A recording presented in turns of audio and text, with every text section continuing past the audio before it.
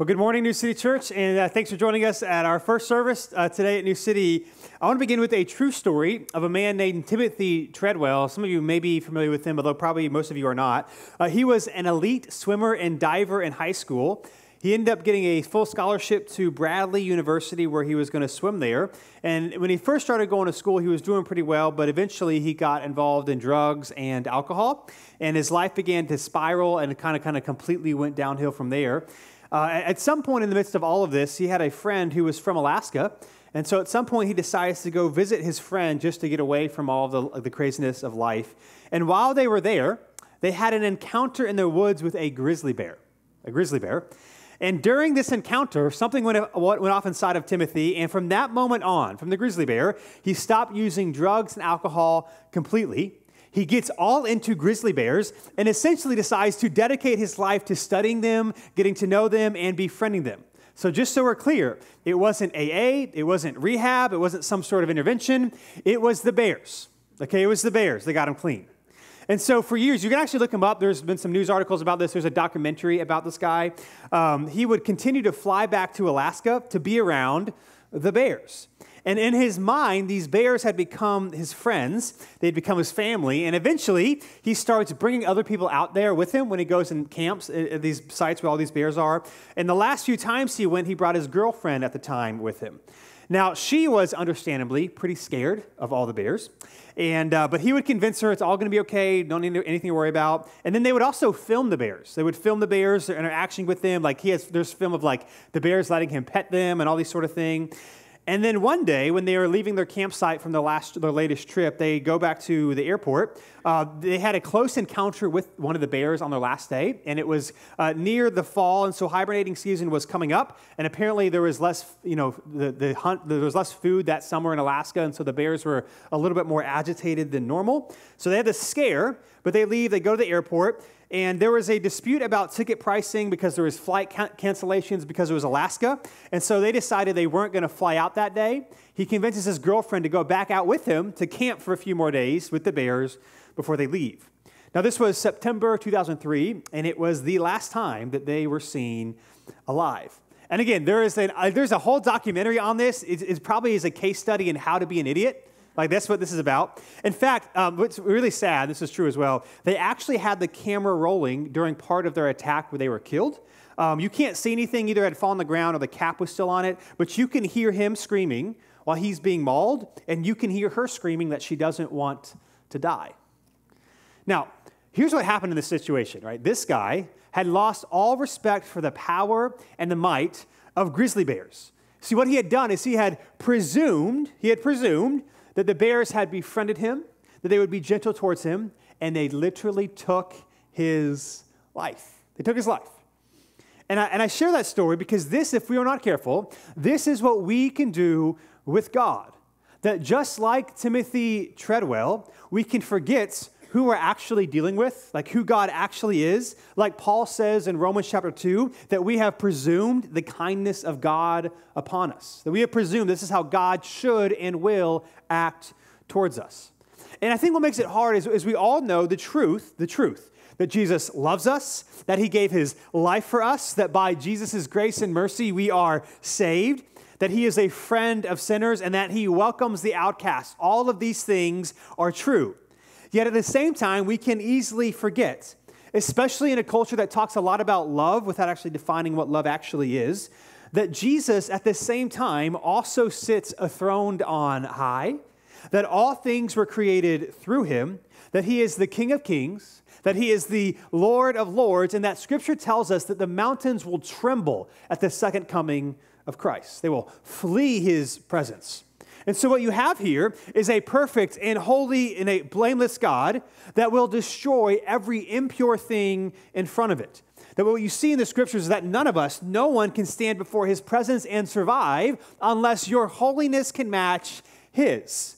And spoiler alert, it can't.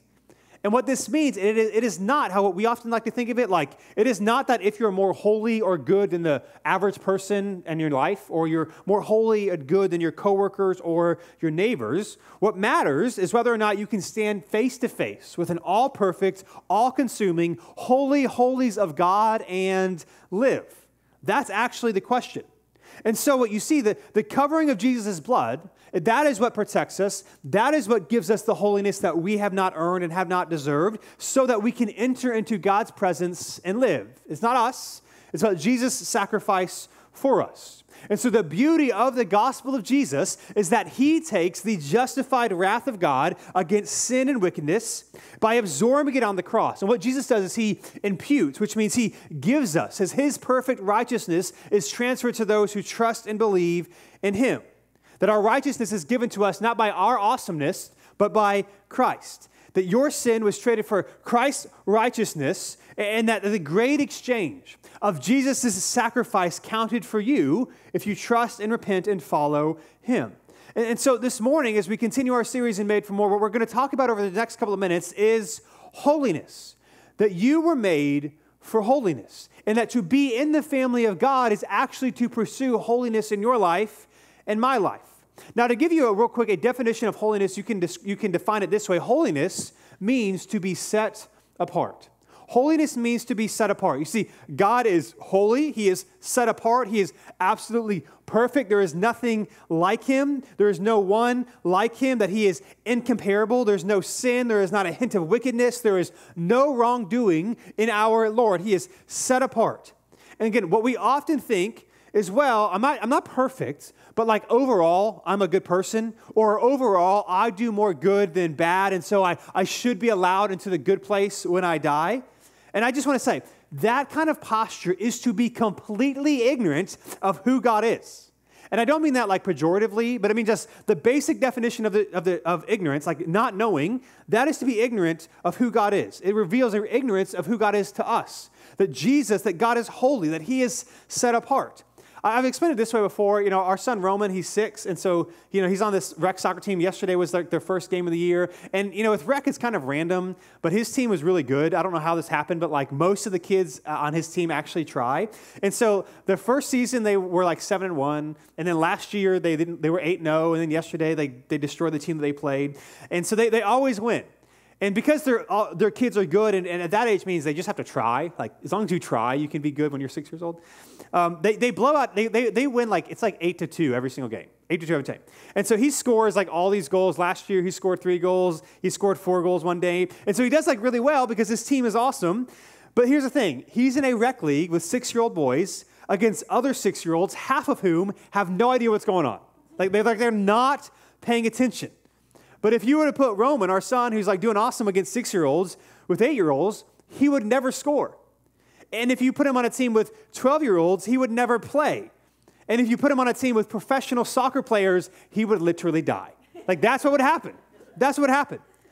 And I just like to remind us this morning we are a bunch of six year olds running around comparing ourselves to other six year olds, thinking we are good when, it is, when in reality, it's not the six year old with his shoe untied and picking his nose that we need to compare ourselves with. That's not the standard.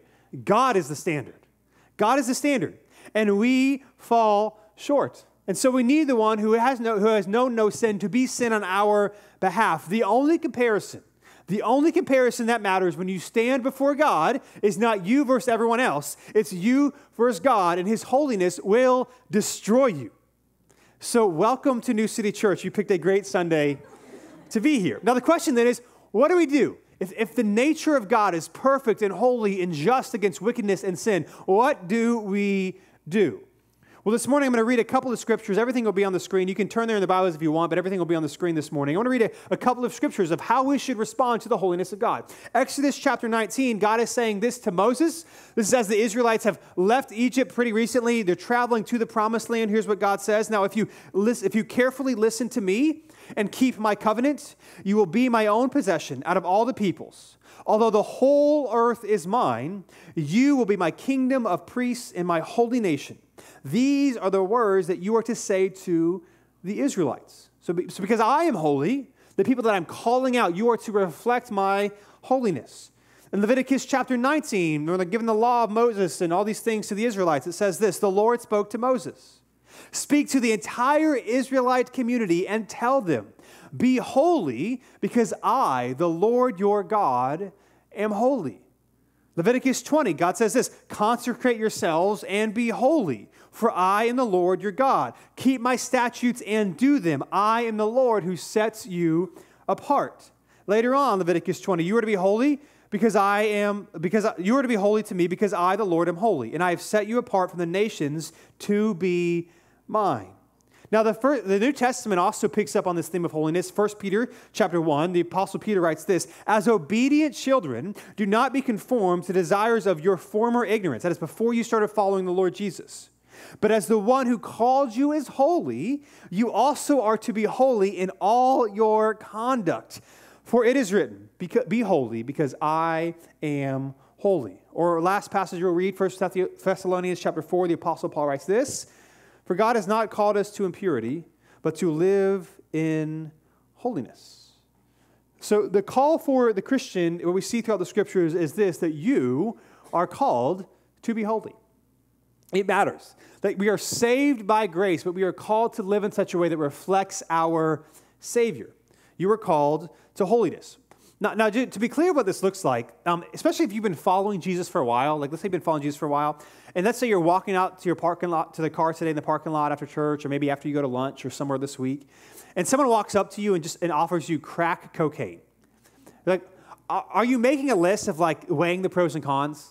Like, you're probably not. Like, you just know, like, I, that's not something I'm going to do. That's not wise. That's foolish. Like, that, I'm not going to do that. Like, you just know. And so, can I just encourage the, the follower of Jesus here this morning? The enemy is probably not going to come at you like that because you know. But, but what about maybe binging three seasons of your favorite show on Netflix over the weekend because on Monday season four is coming out and you want to know what's going on? Or, or what about maybe the habits and the social changes that COVID brought about a couple of years ago? That we're still kind of living in? Like, where in your life do you maybe need to reevaluate some of your how you spend your time, or maybe some of the coping strategies that maybe were helpful a couple of years ago, but are now detrimental for your long-term health? You, you see, for, for many of us, the enemy gets us not with crack cocaine, but with marinating in mediocrity, for settling for lesser things. That things that might not necessarily be bad, but lesser. And so, what we are encouraged to do is to run and to strip off ourselves from things that are not good for us. L- let me read to you Hebrews chapter 12. Here, you see what it says in, in Hebrews chapter 12. It says this um, Therefore, since we have a, such a large cloud of witnesses surrounding us. So he's talking about Hebrews chapter 11, all these people who maybe, most of them had died for their faith as they were following Jesus, uh, following the Lord in the Old Testament. So that, that is our example. He says, let us lay aside every hindrance. Uh, every hindrance, uh, let, sorry, let us lay aside every hindrance and the sin that so easily ensnares us. Let us run with endurance the race that lies before us. The race that lies before us. So we, we are called to be holy. And so if you're, ever, if you're ever asking, like, man, what's God's will for my life? Here it is. God's will for your life is to be holy, to pursue holiness, not conformity to the wor- world, but conformity to our Messiah Jesus. It's not just simply doing more good than bad or trying to balance the scales. What it is, is holiness. That's what he has called us to, to actually pursue holiness. Um, uh, let me give you an example of this. Uh, years ago, when my younger brother was moving into college, uh, it was me, my mom, and my grandmother. We were moving him into his dorm room. And um, I, and so again, we're called to be holy, set apart. So we go in, and it's the day that we're moving, like we stay the night, whatever, we pack the car up. And uh, my grandmother, I had, I had flip flops on that morning, and she was telling me I needed to wear shoes because we're moving. And I was like, you know, actually, no, Grandma, uh, that's not what I actually need to do. Because what's happening is it was one of those things where you would go to the curb and, they, and you would just pull up, and they would, you would, un- I went to UNCW, they did the same thing. Like you'd pull up to the dorm, and they would have all these volunteers who would bring your stuff to, the, to your dorm room for you. So I'm like, why would I wear shoes? Like, it's fine. Like, it's good enough. Uh, we're not actually going to move. And I was right. I was right. And so we pull up, and uh, everything gets loaded, and we go into my, my younger brother Logan is, was, is his name, and go to his room, and we start uh, unpacking the things. And so like all the bad stuff is hard, like it didn't have to move, whatever. And uh, after a while, um, we decide to uh, change the, the height of his bed. I have a picture of the bed. If you want to throw this up there, Um, if you're familiar with these dorm room beds, these beds, you can, they've got four, like, they're, they're made of metal, and the, in the, the middle part is metal, and they've got four hooks on each corner, and you can raise the height of the beds. So you can, like, store stuff other. And so we get into the dorm room, and it's probably about this height, and, and Logan said he wanted to raise it to the top bar. And so we, we unhook the metal things, and we pick it up, and then I hook in my side. I was on the left side, so my side is hooked in all the way on the top. It's like four feet tall. And then he takes his side, and then he hooks it in. And as he hooks his side in, um, in slow motion, and this all happens very slow motion in my, in my mind as I'm watching this, my side apparently was not hooked in. And the metal bar came out. And it was like slow motion, like I could just see it coming. And it lands right on my foot, my bare foot. And it was metal on bone. It bounced. It was like a trampoline. It was like, that's what it did. Like it was just like, like this onto the ground. And uh, so this metal spike, and then it was like a volcano. And when I say volcano, I don't mean like the movies where they're just like, like volcanoes it's just like a constant flow of lava. That was my foot. In fact, I have a picture. No, just kidding. I do have a picture. Uh, we do have a picture because, of course, we got it, but I will not show it up here. If you want to see it after the service, let me know. But it was like just blood. Like it just, it was just coming out. And then all of a sudden I was like, I had to sit down. I was like, I'm going to pass out. Like everything started to turn purple. I'm going to pass out. My mom's like, Dylan, don't pass out. I'm like, it's not my choice. Like I have no option in this. And so like it was bad. Unfortunately, his roommate's mom had like these cookies. And so like we're like trying to eat these cookies. At this point, my brother's in the bathroom trying not to throw up, right? And what happened was I thought, in this story, like I thought I was fine. It was good enough. We weren't moving the boxes. I didn't do anything. And it cost me a lot of blood and a good little scar on my, on my foot. And I, and I share that here because, listen, God has not asked us, He has not asked you or me to be fine or to justify or excuse our behavior. He calls us to be holy. That's what He calls us to, to do the right things because what God does is always right. Again, I just want to read this again. Hebrews 12, the, the author of Hebrews says this, therefore, since we have such a large cloud of witnesses surrounding us, let us lay aside, this is important, lay aside every hindrance and sin that so easily ensnares us let us run with endurance the race that lies before us. Now, uh, the wording here that says lay aside, it is a appropriate translation of the Greek, but it's actually not very helpful for how we understand English in like our modern day, because lay aside gives the idea of just take it off, like just shrug it off, like just gently remove it from you, like you kind of fold the laundry and you lay it aside, you kind of gently put it away. But lay aside, what, the author here is communicating is not just like this like nice, soft, like just move it. What he's actually saying here is like, get it off me. Like, not gently, but like, let me go. And so, what is it here that the author is trying to tell us to lay aside or to get us off from or, or to break free from? Well, it is anything that is a hindrance. And a hindrance here is not the morally, er, sorry, now, hindrance here in Hebrews is the morally neutral lesser loves. So it's not just like the really big bad sins, but it's the morally neutral things that we allow us, if we're not careful, to lay us down. Not explicitly the sinful stuff, although we should, lay, we should take those things off of us as well. But here it's about the things that rob us from hungering and thirsting for the beauty of Jesus. It's to watch out for these things that become a hindrance to us. It makes me think of when I was a kid, we would go to my, my grandparents' house for Thanksgiving and Christmas every year. My grandmother was an amazing cook, and we, all, we, all, we also would have this dessert table of like Rice Krispies, peanut butter balls, cookies, brownies, like all this stuff. And so we would do this. And what would happen as I was a kid, before I realized that came to my senses, um, I would begin to be filled up on these lesser things and then be less excited for literally the best meal I would have the entire year. Like Christmas Eve, I mean, we're talking like steak like really good steak, not the manager's specials you buy at the food line that's 50% off, and it's got mold on the inside because it's cheap. Like really good steak, baked potato, and uh, my wife to this day still like cringes when I do this, but I don't care. My grandmother makes the best baked potato, and I have her like actually make my potato. I have her cut it up, put the cheese, for the sour cream, the butter. Like she's just, I guess there's a sprinkling of love in there. It is so good. So I'm like, BB's what we call her. I was like, you know, you know what to do. And she's still to this day, if I'm at her house, she will make my baked potato. So this, um, this elaborate spread, and here's what I was doing. I was trading that for some chocolate covered pretzels and a Rice Krispie treat. Like lesser things that are not bad, but like for the six hours before that meal, you should not be eating them because they are becoming a hindrance from enjoying what's good.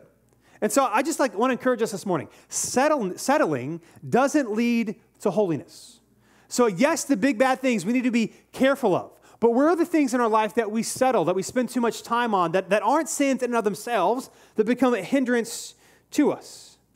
Again, you know that you probably shouldn't be smoking crack cocaine or however you consume that stuff. I don't know, right? But what you might not know. That's good that I don't know this, guys, okay? That's good. And sometimes when I share things or like when like cars, I don't how work, people come up to me after service and like tell me how it actually goes. If you come up to me after service and you tell me how crack cocaine actually works, I will have questions, okay? I will have questions. But the enemy, again, is not coming at you like that. It's these lesser things. And what the author of Hebrews is telling us is to one array, is to strip these things off. And how do we do it? Well, we, we do it, as the author says, with endurance. With endurance, we chase after Jesus, which means it is not easy.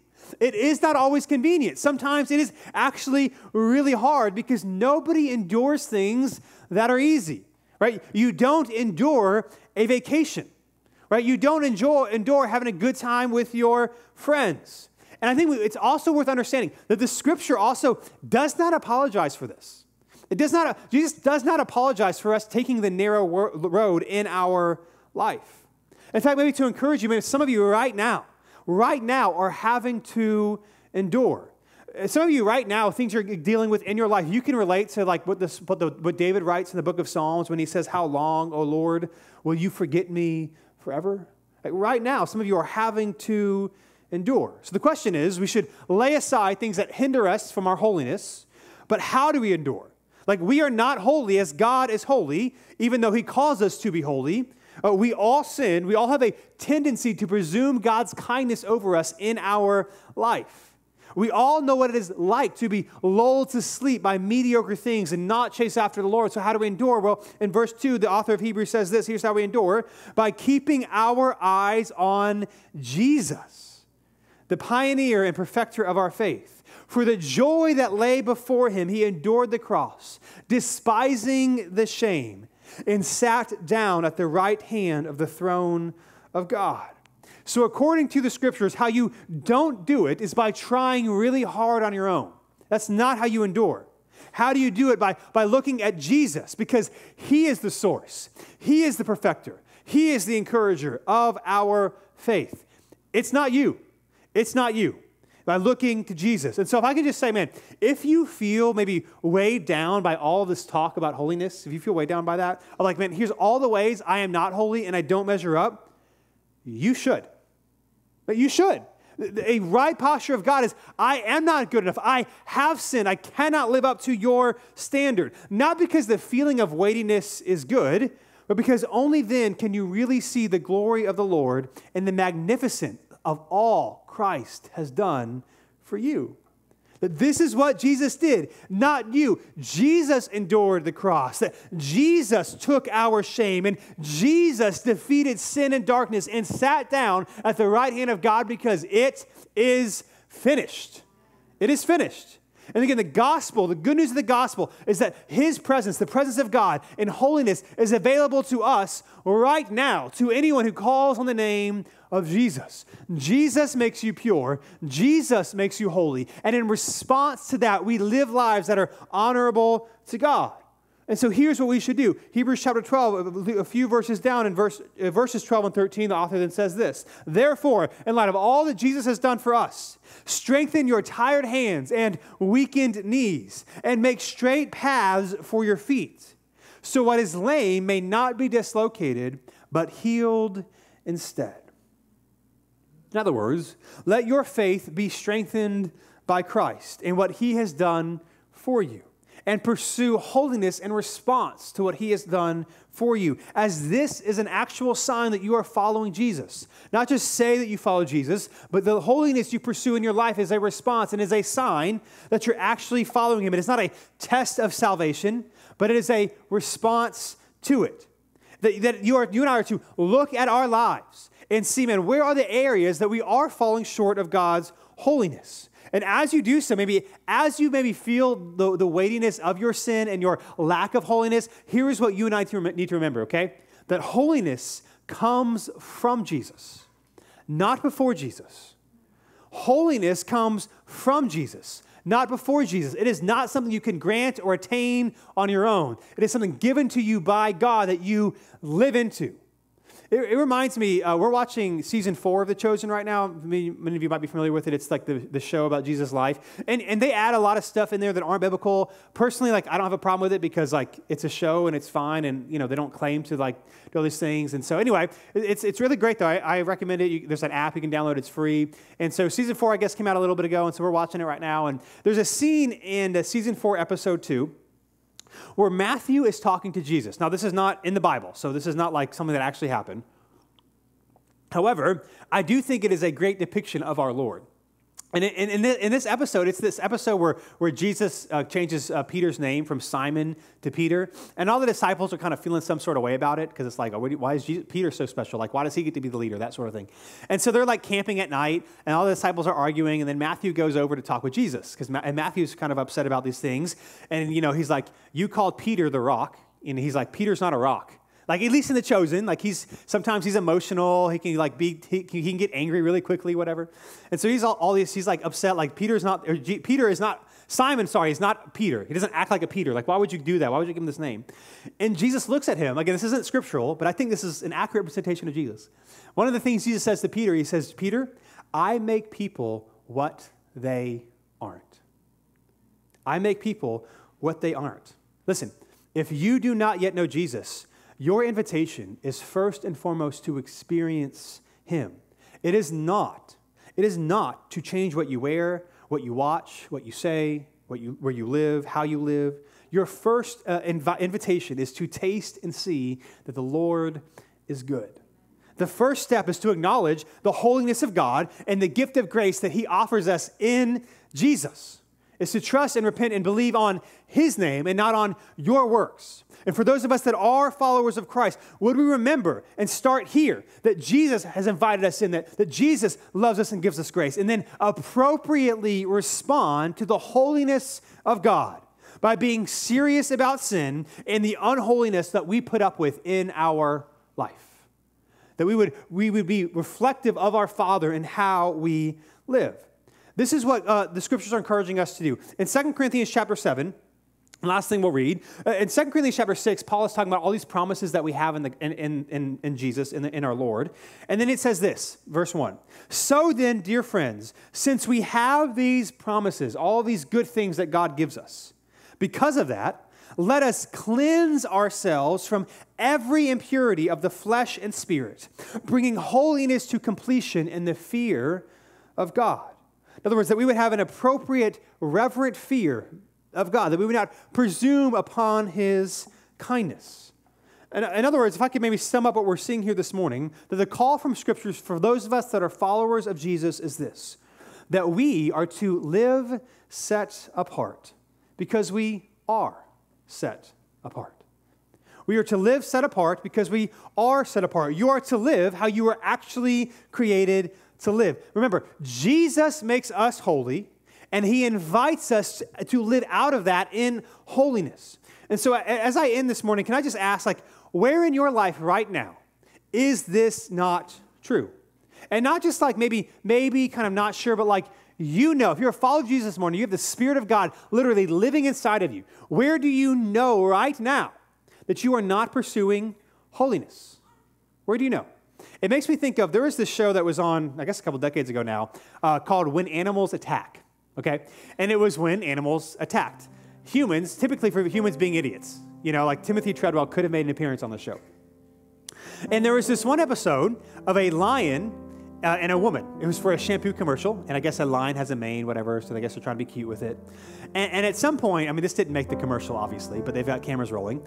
At some point during the filming of all of this, the lion turns around and starts attacking the woman. Now, they have all these trainers everywhere, so they're like trying to pull the lion off, whatever, and they do all these things. And after the fact, um, they had someone interviewing uh, the trainer about what happened. And the trainer could not believe that this lion attacked this woman. Like, could not believe it. They were talking about how, like, they had, they had raised the lion since it was a cub, and it's always been nothing but gentle around humans. Like, he could not believe that, that the lion acted like a lion. I couldn't believe it. And can I just say, I mean, some of you, if you're not careful, have little pet sins that you treat as cute little lions, cute little cubs that you think you can control. you think you can control. Let me just tell you, that cub is going to grow up and it will kill you. Man, it will devour you. It will lead you down a path five years from now that you will could never imagine that you would be right now. All because you thought you could handle it on your own. Because you thought if you're a follower of Jesus, that holiness does not matter. That you are presuming upon the kindness of God. And so, man, for all of us this morning, where is it? Is there a secret sin in your life that nobody knows about? Man, maybe is it how you speak about coworkers or, you know, the workplace is a hard spot where everyone else is gossiping. Are you playing part in that? Is there a content you consume, or maybe the content in of itself isn't bad, but how much time you spend on it? Right? Where in your life are you not following in the way of Jesus? And I'm not talking about being perfect and never messing up, but I'm like, you know, you know you're not pursuing Jesus in the way that He's calling you to pursue Him in that area. Uh, listen to me this morning. We need to drag out the sin of our lives and kill it. That is what the scripture says, that we are in a war and we will lose if we do not fight. Would we not presume upon the kindness of God? Or rather, would we allow God's kindness to lead us to repentance and live lives of holiness? So listen, I'm going to pray in a second, and, and, and, as always, you know, we're going to have people praying down front up here. You don't even have to like maybe say exactly what's going on, but if there's a sin or man, there's a struggle in your life, man, we'd love to pray for you. Man, if you're experiencing the difficulty of life and you just need to endure because life is hard, and you need someone to like grieve with you, we'd love to do that. Man, if we were going to be people, men and women of God, listen, you were made for holiness. You were made to live in the image of God so that those in your life can see Jesus, not just from what they read in the scriptures, but what they read in your life. We were made for holiness. So, would that be true of us? Would you pray with me? Hey, thanks so much for checking out this video. We upload new videos every week to help encourage you in your faith in Jesus. So be sure to subscribe to this channel so that you never miss a thing.